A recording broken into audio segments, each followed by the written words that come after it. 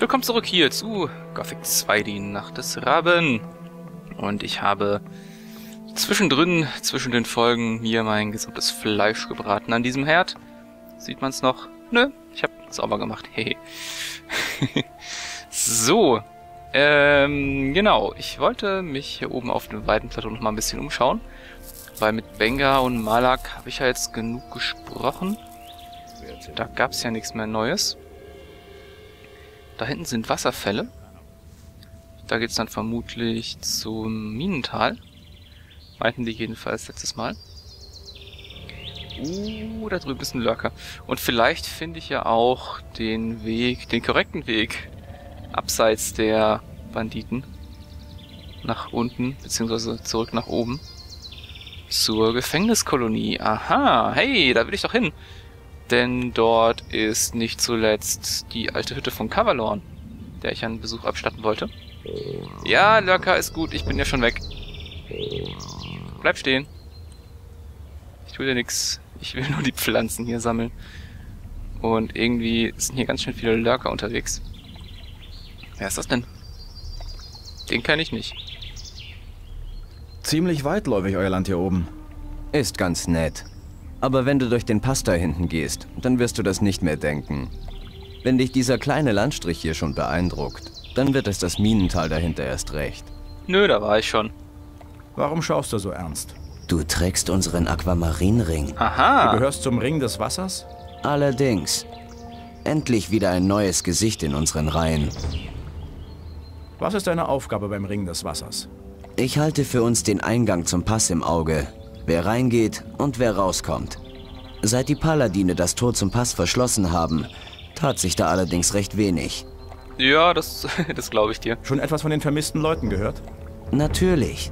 Deswegen sollten wir ja auch alle die Augen aufhalten. Aber um ehrlich zu sein, habe ich noch nicht sehr viel davon mitbekommen. Wer bist du? Mein Name ist Gan. Ich bin Jäger und arbeite für Benga, den Bauern hier auf dem Weidenplateau. Ich bin meistens hier draußen und lass mir die Sonne auf den Bauch scheinen. Hast du vielleicht äh, den Vermissten irgendwo gesehen? Was muss ich über das Minental wissen? Keine Ahnung. Ich habe nur einmal einen flüchtigen Blick über das Tal geworfen. Sah ziemlich gefährlich aus. Am besten du entfernst dich nicht allzu weit von den Trampelpfaden, wenn du durch den Pass dort hinten gehst. Entweder du nimmst den Weg durch die große Schlucht oder den Weg über die Steinbrücke. Der ist kürzer und ungefährlicher. Jetzt, da die Orks überall herumstreuen, sollte man sich schon ein wenig vorsehen. Ich will dich ja nicht zur Kräuterhexe schleppen müssen. Moment, es gibt eine Kräuterhexe? Kräuterhexe? Ihr Name ist Sagita. Ah. Sie ist die Heilerin der Bauern und der anderen Bewohner außerhalb der Hafenstadt. Ein recht seltsames Frauenzimmer. Niemand geht wirklich gerne zu ihr und alle zerreißen sich gerne das Maul über sie. Aber wenn du krank bist, findest du keine bessere Hilfe als Sagita und ihre Heilkräuterküche. Du findest sie in dem Waldstreifen hinter Sekops Hof. Kannst du mir was über die Jagd beibringen? Kein Problem. Für 100 Goldmünzen könnte ich dir zeigen, wie du die Tiere, die du erlegst, ausweiden kannst. Felle und andere Tiertrophäen bringen eine Menge Geld auf dem Markt. 100 Goldmünzen. Ne. Was macht die Jagd? Das letzte Tier, das ich erlegen konnte, war eine große Ratte. Nicht sehr ermutigend und schlecht fürs Geschäft. Seit ein paar Tagen streift so ein schnaubendes Tier in der Gegend herum. Es tötet nicht nur alles, was sich bewegt. Es stört mich auch bei meiner Arbeit. Hey, dann lass uns doch dieses Tier mal zusammen jagen. Wie sieht dieses gefährliche Tier aus? Ich weiß es nicht genau. Ich habe es bisher nur hauptsächlich schnauben und kratzen hören. Aber ich habe gesehen, was es anrichten kann. Selbst Wölfe sind vor ihm nicht sicher. Einem hat das Biest sogar den Kopf abgebissen. Woher kommt dieses Mistvieh? Irgendwo aus den Wäldern. Vielleicht auch aus dem Minental. Aber genau weiß ich das nicht. Ich war noch nie im Minental. Was würdest du zahlen, wenn ich das Tier für dich erledige?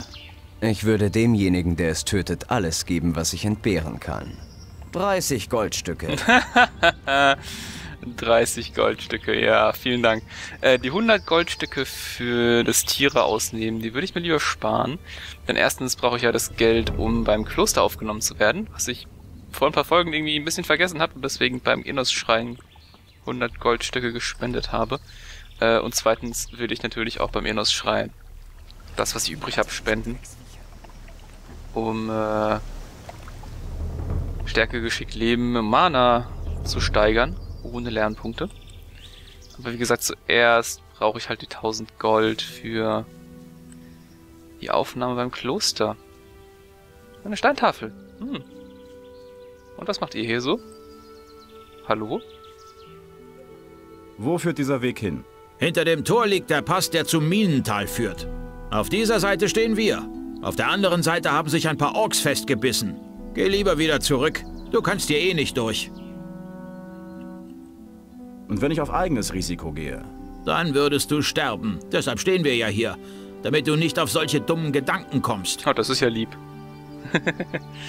das ist ja nett. Äh, ah, Banditen. Sind hier in letzter Zeit Banditen vorbeigekommen? Keine Ahnung, wovon du da redest. Solange wir hier Wache stehen, kommt hier niemand vorbei. Schon gar nicht die lausigen Banditen. Frag mal die Bauern da hinten. Vielleicht haben die was gesehen. Ja, da war ich doch schon. Wie steht's? Die Gegend hier ist ziemlich gefährlich. Also kehr besser um. Wir wollen ja nicht, dass dir was passiert. Wir wollten nicht, dass mir was passiert. Ohne den richtigen Schlüssel kriege Kann ich ich- das nie auf. Da nicht drüber klettern? Also bitte, das ist ja so niedrig. Da kann man doch locker drüber klettern. Hm. Schade. Also ich würde da drüber klettern. So, wenn es in echt so wäre. Ganz locker, ganz gemütlich. Okay, vielleicht nicht unter den Augen der Ritter zugegeben. Das ist vielleicht nicht unbedingt, aber möglich ist das auf jeden Fall. Oder wäre es, wenn es in echt so aussähe. So, dann haben wir hier zwei Wasserfälle. Ähm, aber da scheint nichts hinten dran zu sein. Es gibt irgendwo einen Wasserfall, glaube ich, auch hier. Hinter dem sich irgendwas verbirgt. Aber der war es wohl auch nicht. Da, Lurker. Hilfe. Die Viecher sind stark.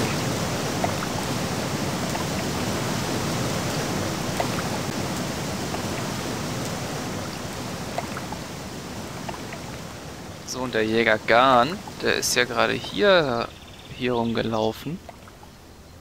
Ah, ein Schrein. Scavenger! Die schaffe ich.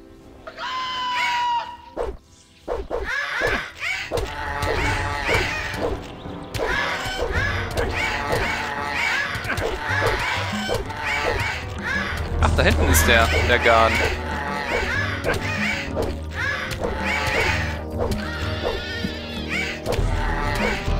Ey, diese, diese Dreck-Scavenger, die sind echt um einiges stärker geworden als im ersten Teil. Wenn ich mir das gerade so anschaue. Da liegt noch ein Degen rum.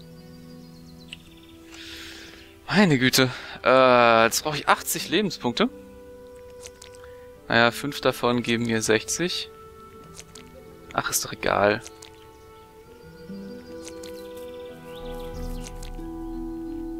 Machen wir das halt so. Wird schon passen. Und da hinten würde ich mich nur ungerne einmischen, wenn der da kämpft. Weil ich ohnehin die Erfahrung nicht bekomme. Oh, der ist ziemlich angeschlagen. Da ist nichts zu holen.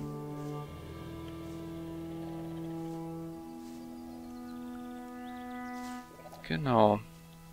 Äh, weil ich eh die Erfahrung nicht bekomme, wenn er was tötet.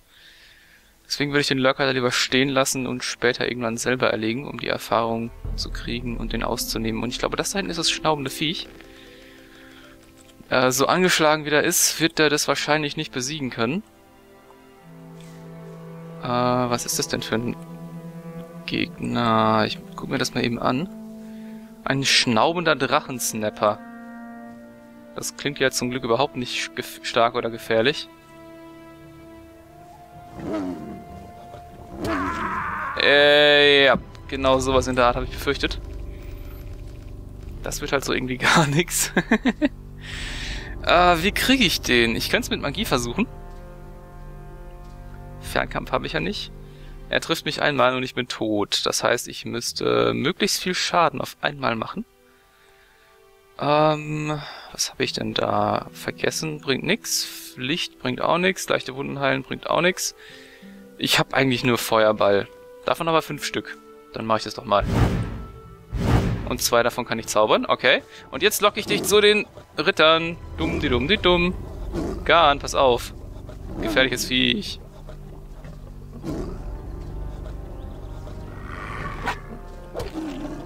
Garn, nein!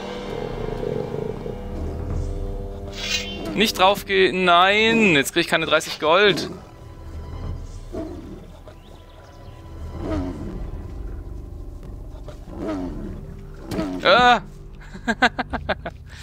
okay, das wird so irgendwie nix. Schade.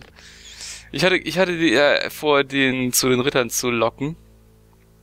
Aber ganz ehrlich, so ein, so ein starkes Viech kriege ich so früh im Spiel nicht besiegt.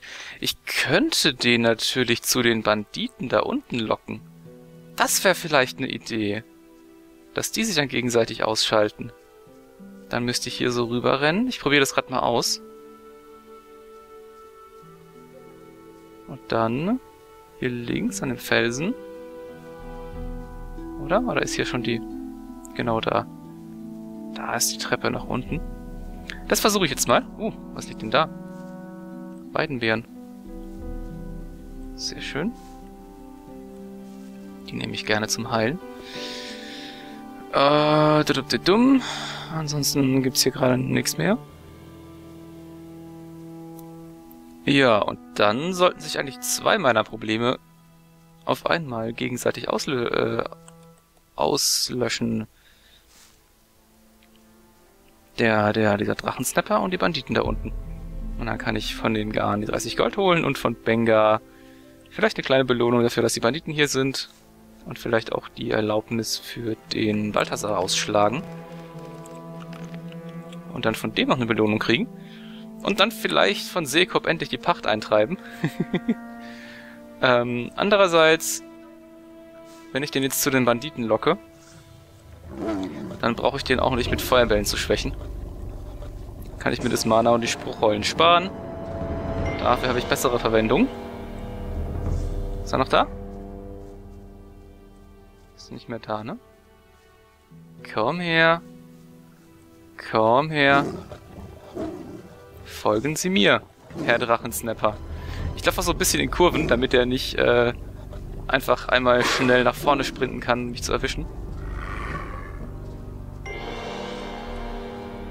Komm her.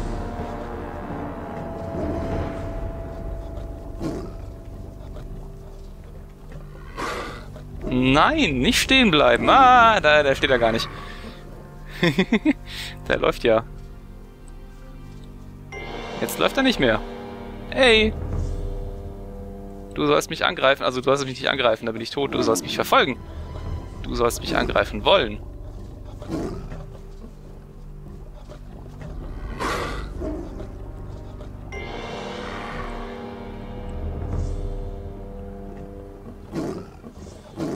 Jetzt nicht, nicht, nicht, nicht, nicht mich... Moment, ich speichere mal. Ich bin mal mutig. Und speichere, allerdings halt äh, neu.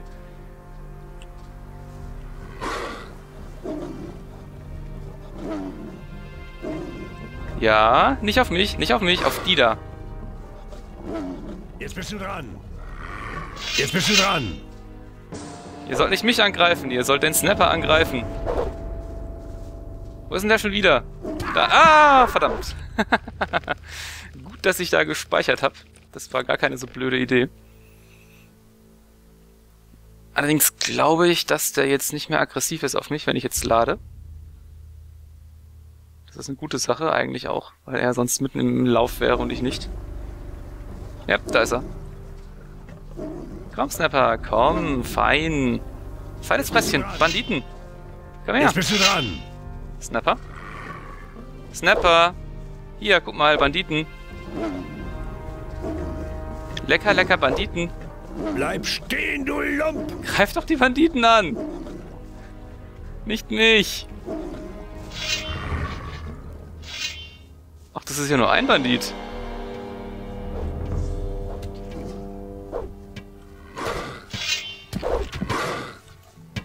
Na, zwei Banditen.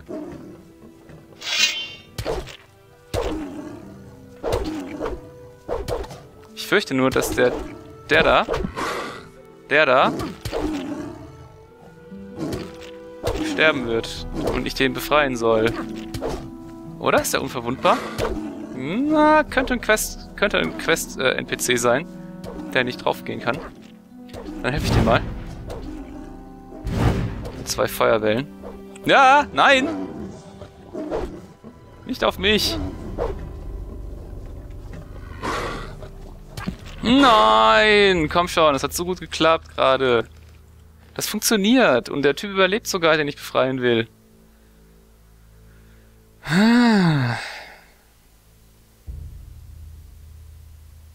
Okay, wie mache ich das jetzt klug? Uah, nicht so. Äh, so auch nicht.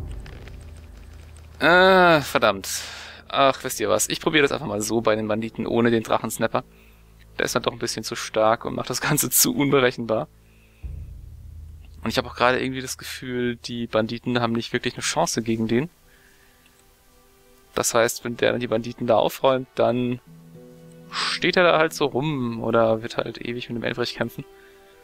Der hat ihm scheinbar auch nicht so viel Schaden gemacht. Die Banditen haben dem Schaden gemacht und dann haben meine beiden Feuerbälle. Aber der, der Elbrich halt nicht.